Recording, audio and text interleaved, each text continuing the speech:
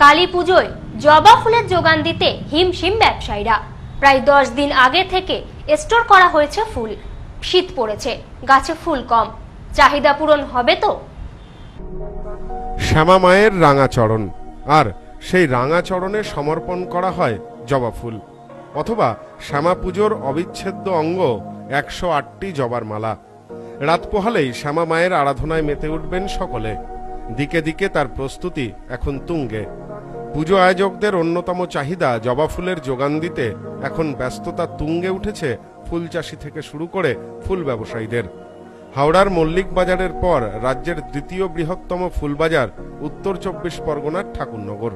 প্রতিদিনই রাজ্যের বিভিন্ন প্রান্ত থেকে ফুল বিক্রি অথবা পাইকারি ফুল কেনার জন্য বহু মানুষের সমাগম ঘটে এই বাজারে।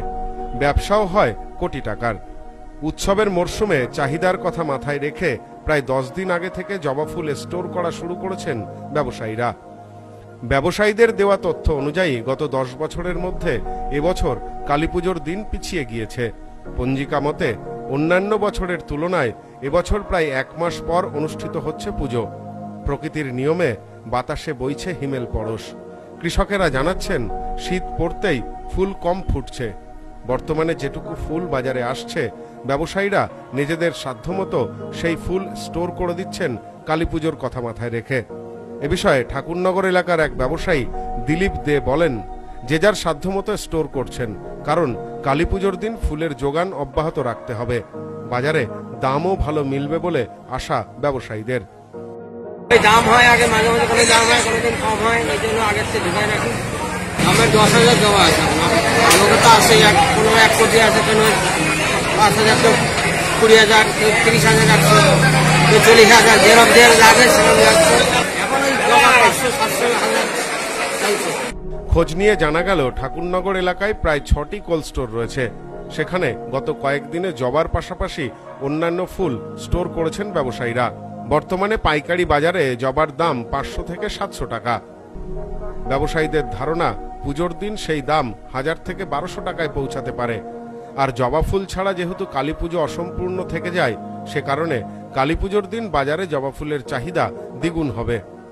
চাহিদা অনুযায়ী ফুলের যোগান দিতে তাই এই পরিকল্পনা বলে জানা গিয়েছে।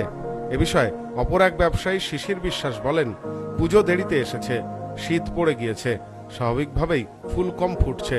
ফুলের যোগান দিতে তাই জবা স্টোর করা হচ্ছে। এক মাস পরে পড়েছে কালী পুজোটা ওই জন্য হচ্ছে হালকা শীত এসে গেছে, যেটা হচ্ছে শীত পড়লে এই জবার কড়িটা একটু কম ফোটে, নীলকণ্ঠ নীলফুল যেটা, সেটা কম ফোটে, তারপরে গিয়ে হচ্ছে আকন্দ ফুলটা কম, এই তিনটে মালেরই দাম এবছরটা খুবই চড়া। কৃষকরা, কৃষকদের কাছ থেকে যারা কলকাতাগামী মানুষ, তারা আজকে দীর্ঘ দশ দিন আগের থেকে স্টোর করা শুরু করেছে। কেন বলেন তো, দিনের দিন কিনলে কলকাতা গিয়ে এরা বিক্রি করতে পারবে না। দিনের দিন জবার হাজার এখন চলছে আটশো টাকা, নশো টাকা। আর যেদিন পুজো, ওই দিনটা হচ্ছে রবিবারের দিন পনেরোশো, বারোশো টাকা হাজার হয়ে যাবে। সেই জবাটা ওই গিয়ে দুশো টাকা বেচতে হবে। আর এরা যারা স্টোর করেছে, এরা গিয়ে একশো কুড়ি টাকা, একশো টাকা বিক্রি করতে পারবে।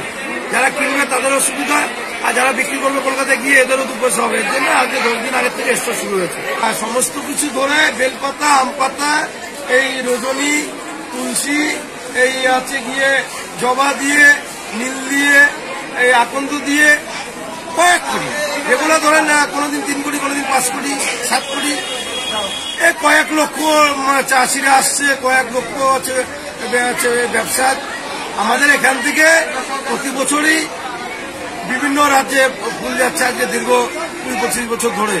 এবছরও বিভিন্ন রাজ্যে গেছে। রাত পোহালেই মণ্ডপে মণ্ডপে বেজে উঠবে আমার মায়ের পায়ের জবা হয়ে ওঠ না ফুটে মন। বর্তমানে সেই জবার যোগান স্বাভাবিক রাখতেই আপ্রাণ চেষ্টা চালিয়ে যাচ্ছেন ফুল ব্যবসায়ীরা। Bureau report, news, no man's land, Thakurnagar.